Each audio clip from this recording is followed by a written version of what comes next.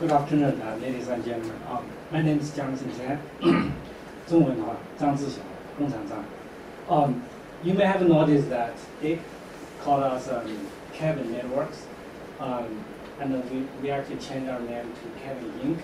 The reason is we are expanding. So the, we, we, we are becoming a UEFI member, and we are doing the presentation here is because we expanded our business out from network into server. So um, um, starting from two years ago, we started to work on ARM-based server, um, and uh, together with AMI and uh, other partners. As, as you all know, um, it takes a village to raise a child. So, um, so here, um, I um, together give this presentation with AMI to give industry an update of where we are, and where we are heading for, and what we are thinking about um, the um, ARM-based modern software and why um, we take the approach of standardized firmware and what we have today. So, it's why and what we stand today and what's our um, plan and uh, also we touch base about our engineering process to enable it. And in the end, that's option round challenge that was put um, a, week ago, and uh, after Don already touched base about this topic. And uh, on Tuesday afternoon, we had a meeting. So um, um, I uh, probably give a very quick update uh, for the, uh, about the meeting. And then in the end, it's the Q&A session, but uh, feel free to ask a question at any time.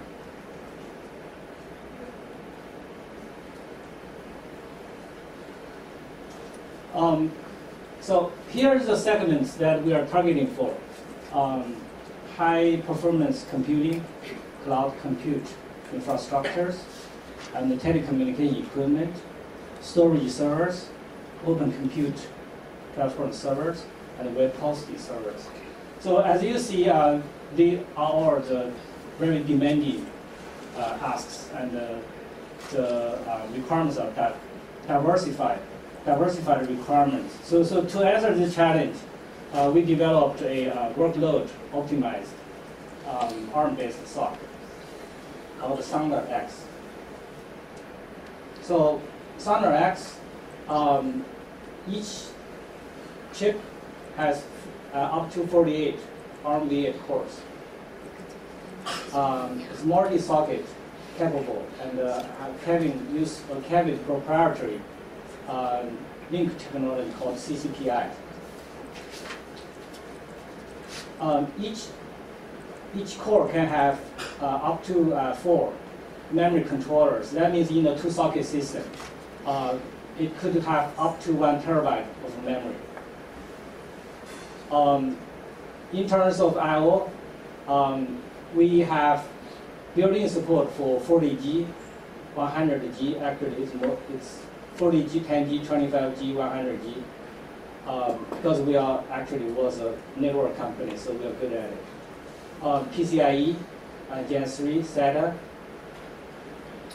uh, standard standard space low latency Ethernet fabric, uh, virtual I/O, and uh, single and dual socket.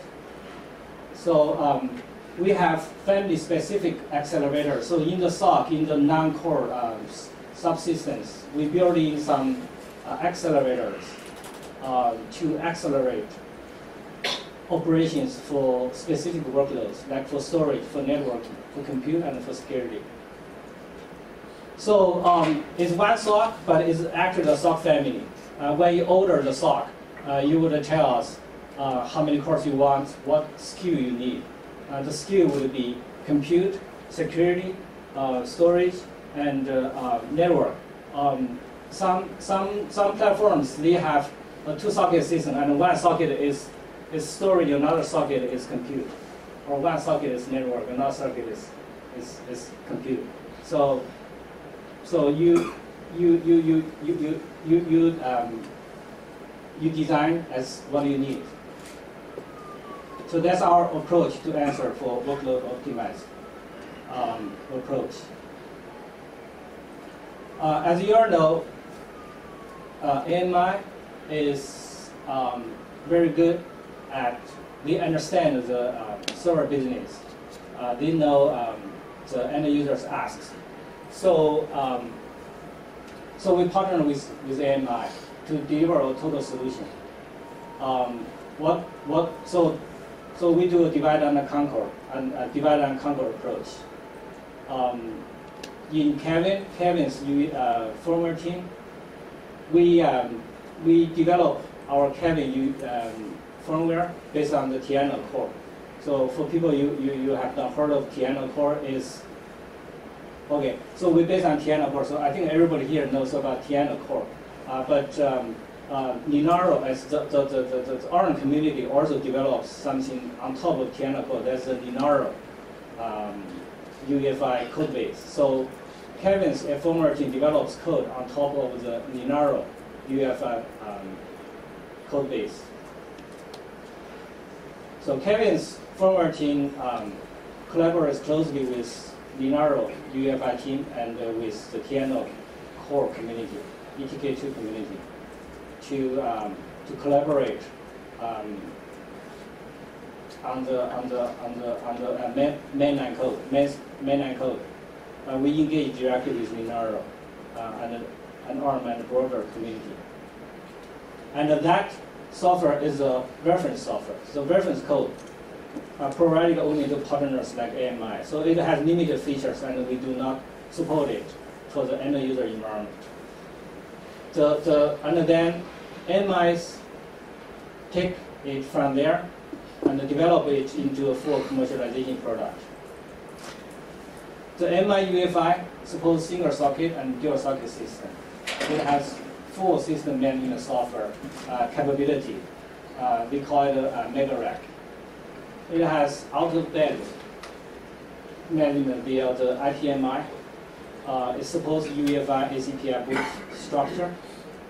Um, it also lists a, a, a, foundation for, for, for uh, further customizations. Uh, in, uh, so uh, Robert will present uh, about what MS UEFI has to enable that. Um, Cavium and AMI works together um, to collaborate on the customer designs. Also, we provide uh, support on global basis. So here is a, uh, architecture. Um, we, we, we take the standardized uh, architect, uh, approach. I, am glad that Tony, today's Tony, uh, explained what exception level is. So this doesn't look so mind-boggling, um, mind-boggling anymore, I guess. Um, so EL3 is the um, secure monitor. It runs the ARM trusted firmware.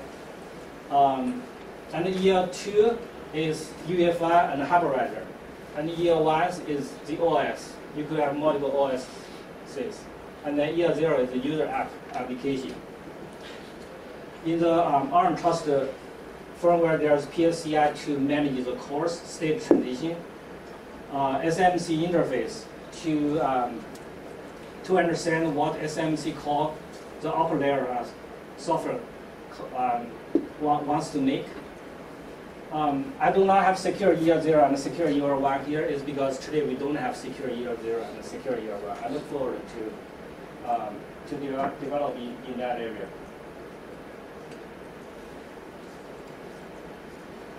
So um, over the last several years, um, ARM communities worked tirelessly with the UEFI and the ACPI, uh, UEFI forum to uh, port UEFI ACPI specs to support uh, ARM architecture. Uh, as of ACPI 6.0 and the UEFI 2.4, the foundation is there. So you have a working system. But that's, that's not enough um, more features needs to be added, needs to be supported. So um, early this month, March 2016, uh, UEFI Forum announced ACPI 6.1 and uh, UEFI 2.6, and half half of the new specs is related to RAS support in for ARM. So RAS is uh, reliability, availability, and serviceability. The first one is interrupt signal event for expanded hardware-reduced platform support and improved system-on-chip design. So hardware, so ARM is a hardware-reduced platform.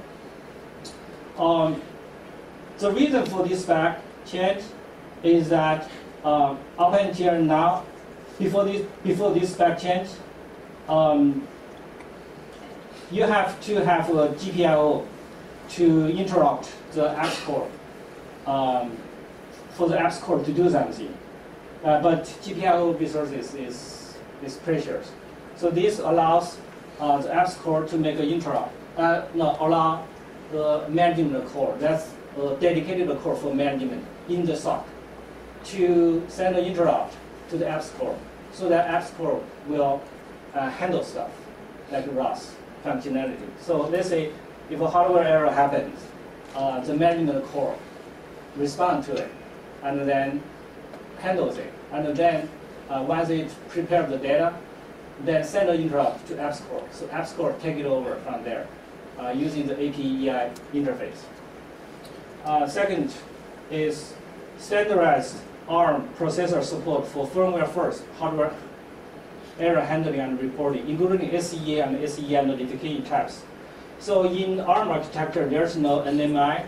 So the, the, the kind of like equivalent is SEA and SEI. That's synchronous error abort and uh, system error interruption. Um, UEFI spec 2.6 introduced ARM error reporting extensions for CPER. So in the CPER, it standardized the error format related to the process, processor errors. So that when a processor error happens, you look at the uh, error record, it contains all the information you need to debug the issue and to understand the cause. In addition to UEFI and ACPI, um, ARM also um, um, creates additional standards so that all the SOC based on ARM, um, the all users use use standard approach um, for, for both software and hardware. Uh, so SBBR is a server-based requirement. This is publicly available. Uh, the SBSA server-based system architecture version 3 um, is not publicly available. It's only available to the ARM customers. Uh, but the point is that uh, through those standards, together with UC, UEFI and ACPI, um, different vendors, ARM, SOCs, they, are, they use the same approach, um, use the standard approach, and uh, to make sure uh, the software can can, can run without any problem on different um, on, on SOCs made by different vendors. So uh, we, we switch to the next section is what system features are available on uh, Thunder-based um, product platform through the standard standardized firmware. The BMC. Um, so BMC features today, so BMC features, um, BMC is for out-of-band management. And today the BMC, the um, like AMI BMC, they, they support, they have full support for IPMI 2.0. Support serial over LAN, um, so you can have the serial console to the um, to the Thunder X. Um, it has full SSIF interface so that Thunder software can send data to BMC through SSIF. Uh, it supports flashing of CPLD, fast flashing, as well as the firmware on the on, on Thunder X. Supports centralized fan control, remote media redirecting, centralized web interface, and remote. KVM. Um, when we design the platform, uh, you know, we, we, we, work with our vendors. Uh, one of the goal is trying to minimize the customization needed on, on BMC uh, because of the SOC difference and because of the platform hardware design differences. Uh, customization is unavoidable, but um, we want to minimize it as much as possible. Here are the approaches we take to, to minimize it. First is that all the software running on the CPU you know, on, on Thunder X, SOC, um, the OS and the firmware, they, they support the server management standards, IPMI, SMBIOS. SOC, specific processings and functions. Uh, we make sure it's done in the, in the, CPU software, but not in the uh, BMC software. And uh, when we design the system function, for example, like host initiated shutdown, um, we we, we, we, we um, make a goal to BMC not to participate in the system functions. We have the um, Thunder software communicate directly with CPLD firmware. So BMC, we try to limit it to just monitor and reporting functions. So um, we think that uh, the ARM community think that there's a lack of standardization of how in-band and out-band management work together. So uh, with the SOC, um, it's, it's very complex. There are a lot of, besides there are 96 core, besides there are 48 cores, and each core has, has core groups and uh, caches. There are a lot of other SOC systems. For example, for example like the management core, for example, like the PCIe. Uh, root complex and, and, and other stuff is very complex. So the in-band management also becomes complex. So how they work together, um, we think this is uh, something needs to be addressed by, stand, by, by standard logic.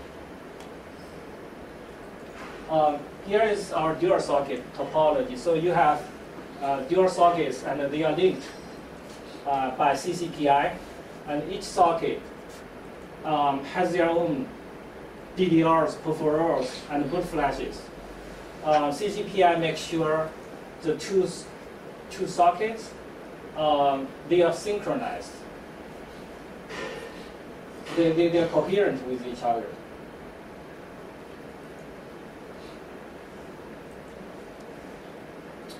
Um, this dual socket support is, is through a name called NUMA, um, non-uniform memory access.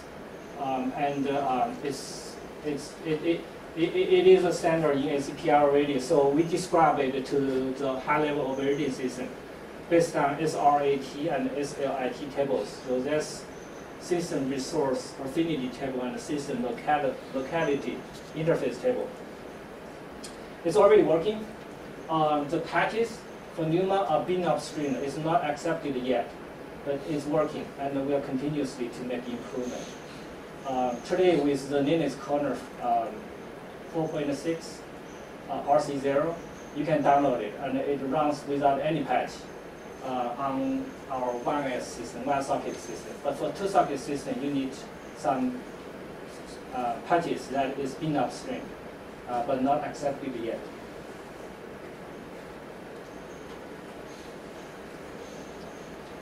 Uh, PCIe, PCIe is very important. So uh, we have validated uh, one or two devices for each of the categories.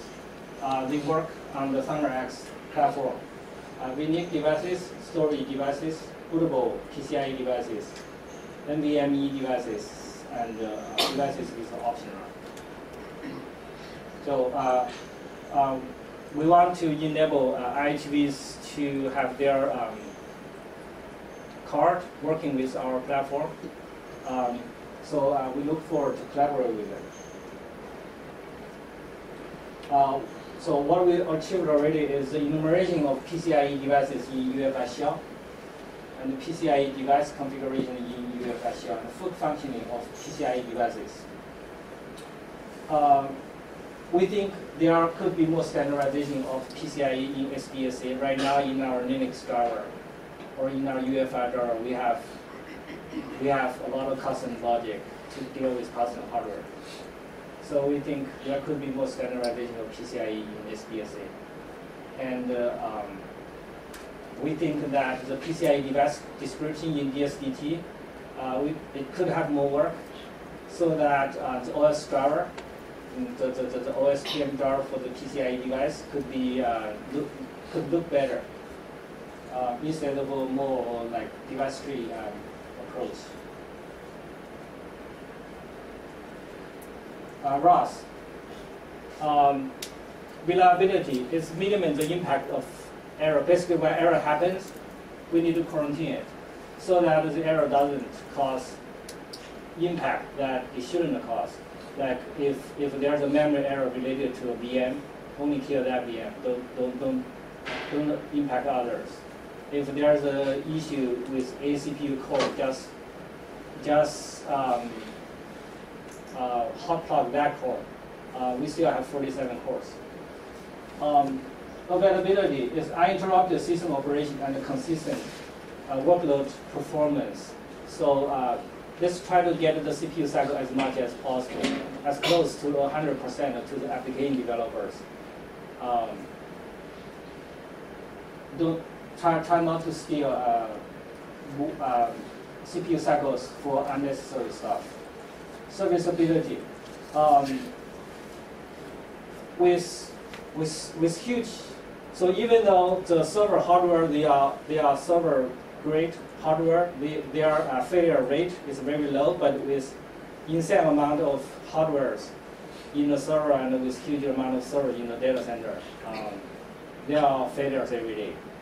Uh, and um, uh, parts get degraded.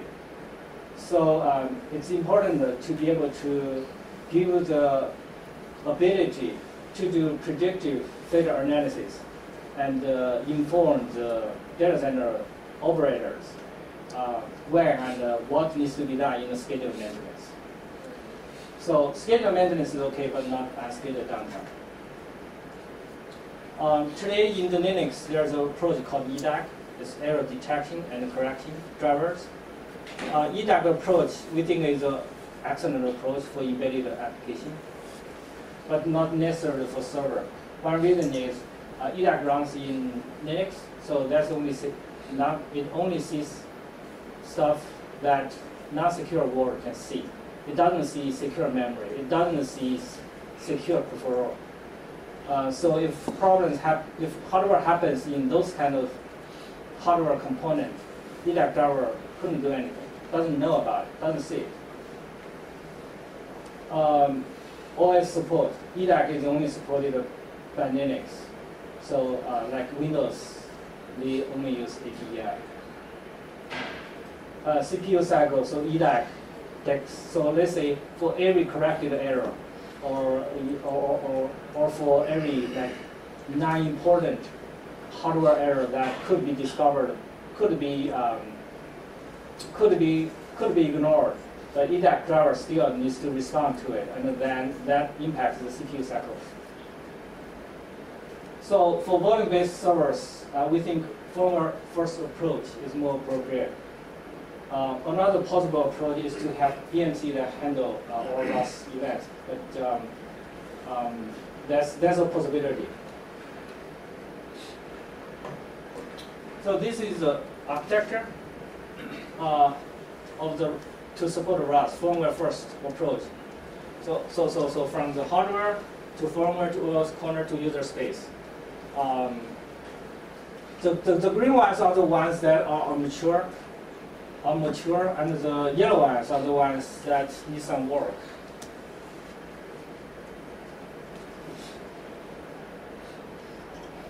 So on the hardware side, so when there is a hardware error, so, so hardware error detecting and in, injection, um, that's already there, works perfectly in ThunderX um, when there's a hardware error happens, let's say there is an L2 cache error happen, uh, L2 cache error, or there's a CCPI link error, um, an interrupt will be generated.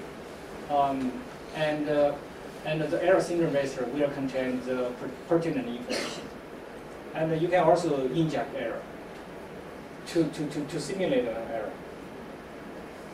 On top of that, in our next generation, uh, we will take, we will incorporate the ARM RAS extension, which is the extension to the ARM core. Um, and it has a lot, of, it's, it's dedicated for us. Um, um, the, the, the, the main component, the major component of the RAS extension is, is added instruction. Uh, that is error synchronization barrier. So, so, so, so when you run this instruction, uh, you know at this time your hardware does not have any errors. All the errors are cleared out. Um, and uh, there are RAS-related registers in, in, in, core, so you, you understand how, uh, core errors more, uh, more precisely. Um, so the two, so the to-do related, so ARM RAS extension is, is, is, is, is comparatively new. So to-do item is we need to review the ACPI UEFI spec to see what needs to be added to, to support this new hardware and develop the standard code to support the new hardware and new spec, possible new spec. Um, on the firmware side, uh, we already said that in ACPI 6.1 and the UEFI 2.5, now we support uh, RAS in ARM, and uh, um, we just need to upstream the, the patches. The, the, patches are there, just needs to be upstream. Um, and uh, we, we need to develop ATF and UEFI code to support this spec. Uh, so now, we talk about the interface between OS and the platform. What about platform? Um, how do you design the platform to handle the RAS errors? There are two approaches. One is a dedicated core, runs platform software, maybe an embedded OS to achieve the goal. Second is what Tony just described. That is the management mode. So the, the, the, the AP processor enters into MM to execute platform code to achieve the goal. Um, the code runs in secure EL1, but it's still on the app processor. You don't need a dedicated code for that purpose. Um, comparing to SCP, MM has more standardization and less hardware complexity because you don't need to wire the interrupts to another core. You don't need another core.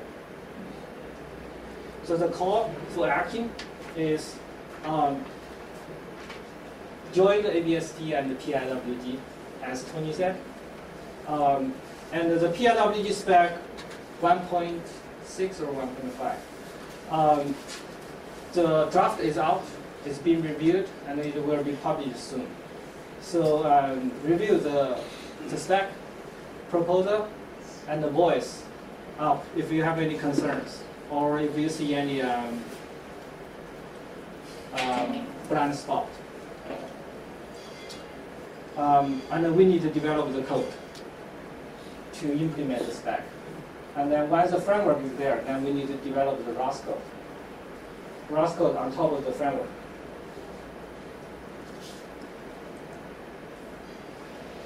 So other system features, we support UEFI 2.5. Um, we can boot from SATA, USB, SD, MMC, and PXE boot. We support all the runtime services. Uh, to do that, secure firmware update, secure boot.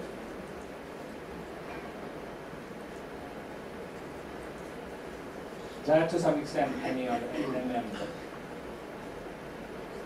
Um, now I, I, I, um, um, I introduce um, Robert from AMI to um,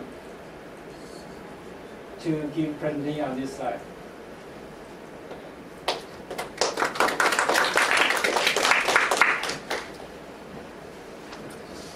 Uh, hi everyone, uh, my name is Robert. Uh, I'm in charge of AMI server marketing business. Uh, I would like to show you the uh, Aptio AMI UEFI BIOS on KVM AKS features. Actually, we have finished the setup menus and SPI driver, PCI driver, and HCI USB, and you can use PC boot to install OS on your system. And how can uh, how we communication to BMC? Uh, actually, we follow the IPMI 2.0 spec, and we use SSIF interface to communication to BMC. Because uh, on our systems, we only have I2C can uh, uh, to communication to BMC. So we use the SSIF interface. And we also added the uh, module to support the uh, new interface SSD. Actually, we have tested the Intel 750. And uh, we also uh,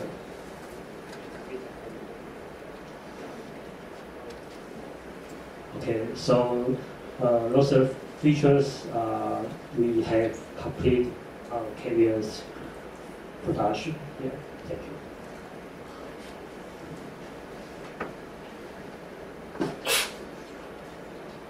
Okay, so on the ACPI side, today we have those ACPI tables, DSDT, SSDT, MADT, GTDT, IORT. IORT uh, is something new that's introduced in ACPI 6.0 and it's used to, to describe the SMMUs and PC uh, geek uh, topologies, IO topologies.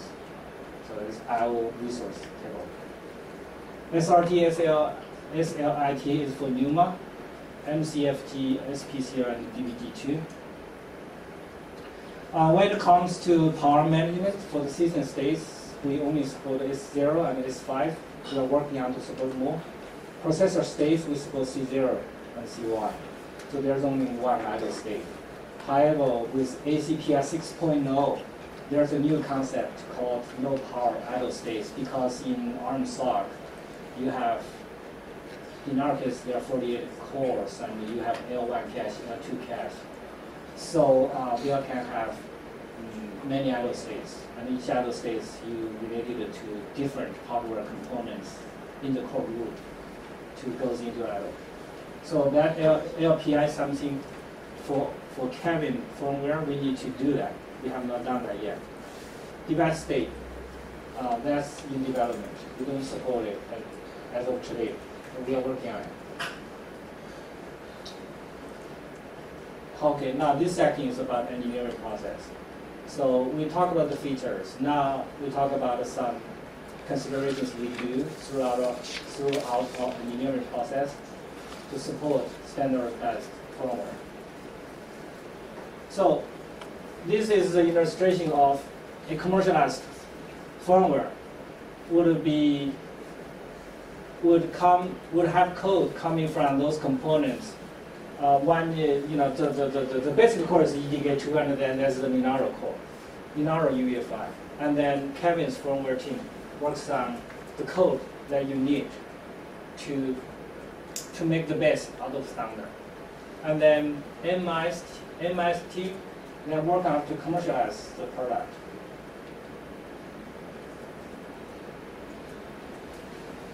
So with the success of ThunderX, now we are, we are having an explosion of platform and SOC combinations. How do we manage that?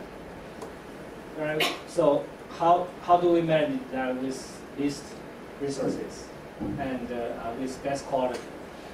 So the, so the, the, the solution we have is we have a disciplined software architecture. It's standard based and also follows this workflow. Um, and in our design and coding, we consistently follow follow the uh, follow this architecture concern. Um, the green boxes, green uh, rectangles, are the uh, images, right? Those images are the same for different platforms and SOC variations. Let's say you have a SOC 1.0, 2.0, same image. You have different companies, platforms, same image. Right? Um, those blue ones, so this one is unique per platform uh, and maybe SOC um, combination. This one, calibration data and user-defined configuration data, that is unique per machine. And uh, a user could change it at runtime too um, you can change the CPU frequencies like that. And, and those data feed into the early bootloader. Uh, early bootloader would generate platform configuration and give it to UEFI. Uh, UEFI use that to, to configure the system and the boot time. UEFI also takes the AC, default ACPI table and merges together to generate a final ACPI table, P2OS. So in the end, the OS would see fully customized description of this machine that has in consideration of the platform and SOC features and the user's demand. Um, and uh, um, AMI's UEFI also has some um, some uh, goodies to help in this perspective. Come here again. Actually, we uh, deliver the visual BIOS to deliver all the architectures, and you, it's uh, uh, easy to use either your modules or functions into your project. And we also have uh, SVN. You can download all my modules from SVN. Uh, actually, if you are interested in KVM projects, if you want to kick off this project, please feel free to contact me. Thank you.